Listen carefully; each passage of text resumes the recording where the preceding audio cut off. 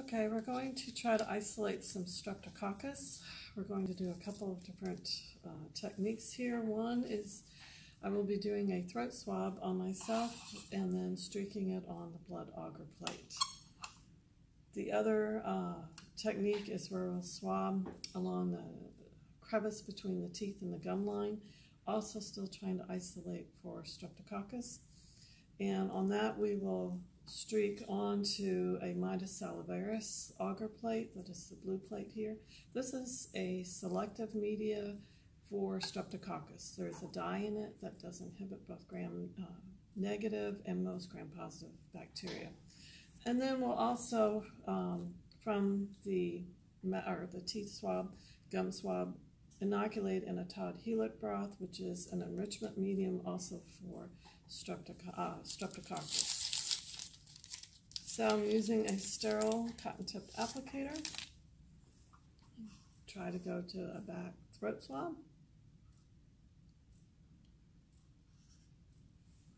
And then swab this on the blood agar plate. Always working within the flame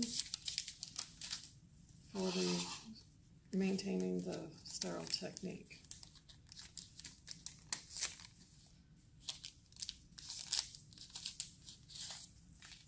For the second swab, be going along the gum line.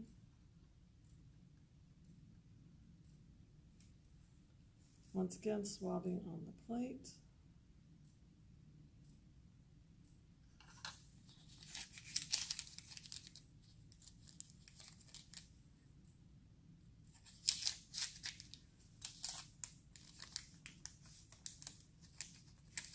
And lastly, I will be inoculating the Todd Hewitt broth. Once again, swabbing along the, the gum line.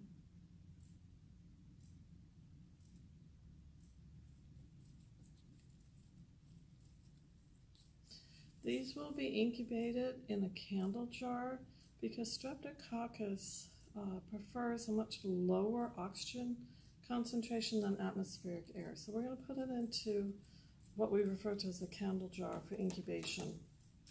If you tried to incubate it in a regular incubator without any additional supplement, um, it may grow, but on the petri dish it's going to be really, really tiny. So to try to encourage the growth, we will put it in the candle jar, which I will set up in just a moment. Fancy candle jar.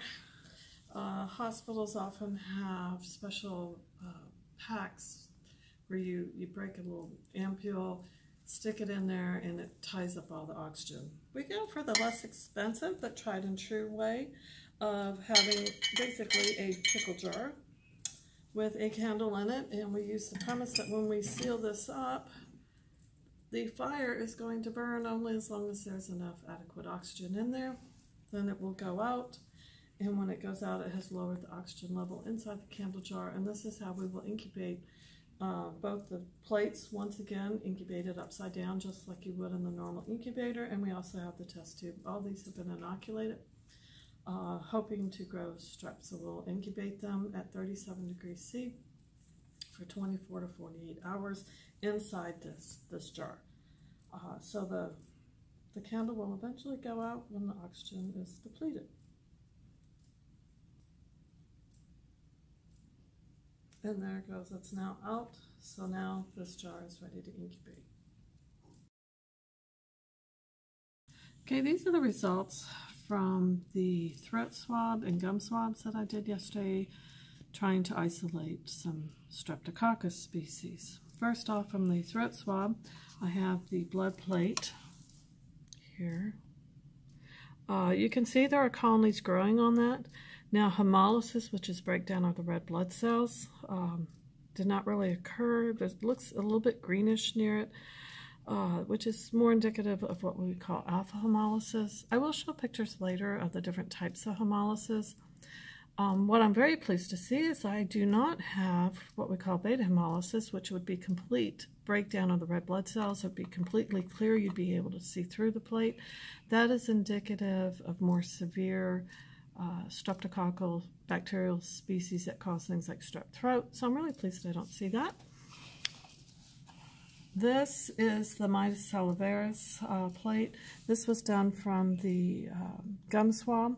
As you can see, there's very tiny colonies. We did get growth. This is a selective media with the various dyes that are placed in here. It inhibits the growth of gram-negative and most other gram-positive bacteria other than Streptococcus species.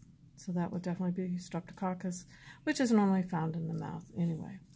And then we also inoculated a tube called the Todd Hewitt. This is uh, an enrichment media for Streptococcus. And if I swirl that a bit, you can definitely see that it's cloudy. If we move it over the black surface, you might be able to see it a little bit better. That it is not perfectly clear that it is cloudy. That means that there is bacteria growing in it. So I was able to isolate Streptococcus from the back of my throat and along the gum line.